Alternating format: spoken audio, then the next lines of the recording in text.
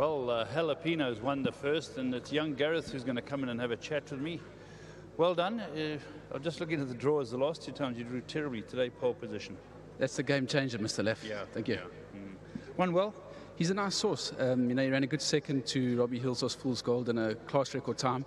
And um, when we put him at Scottsville around the bend there, he just didn't function. He didn't enjoy the grass at Scottsville. Coming back to the poly, um, he was running on nicely from hopeless positions.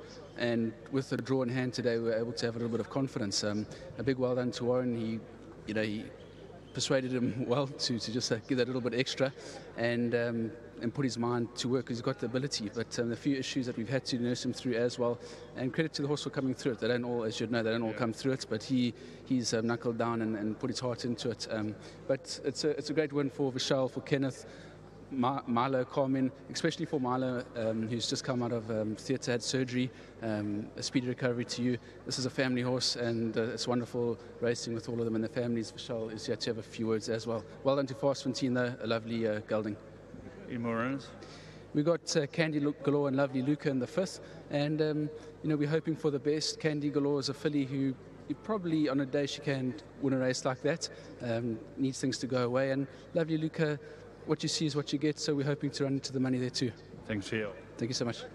Well done, Warren. I was just listening to Craig uh, Peters on the air, and you're saying that it's incredible how many times you win the first and the last.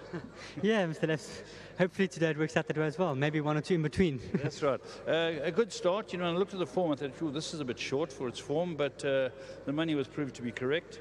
Yeah, look, he's been playing the last couple of runs with really bad draws, and you know he doesn't have gate speed, so forced to drop him out, Mr. Left, and, and he just doesn't make it up. He's very lethargic, and when I canted him down, you could see very lethargic. So I trotted him all the way to the start, trotted him behind there, worked him up as best as I could, and he still came out a little bit sluggish with me and, and not really wanting to, to go on with it.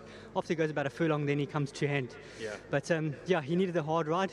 He's a bit of a lazy bugger, but uh, it was a good win with the left. Look, he, he's got his issues, he's got his problems in that, and, and Gareth's done a marvellous job of, of keeping him together and, and getting this race planned for him, and uh, well done to Vishal. Excellent. Well, we'll hope we see you again. But if Craig's right, it'll be the last race, definitely. Yeah, well, maybe definitely the last, but hopefully I can pick one or two up in between. Well done. Thanks, Les. Shall come and have a chat. Nice for the family. Yeah, well done. Uh, say well done to Kenneth. Uh, he was at home uh, wishing his wife Milo a speedy recovery. Uh, well done to Gareth and Warren, and uh, to all my guys out here. Well done. Supporters. Supporters. Yeah. well done, eh? All right, we're going to do the winning groom now, and uh, I've got James Everett who's coming from Hollywoodbets, and we've got Safiso Gueca. Well done, Safiso. He looks after this for the Grooms Initiative. Thanks very much, James. And uh, that's the first race out of the way.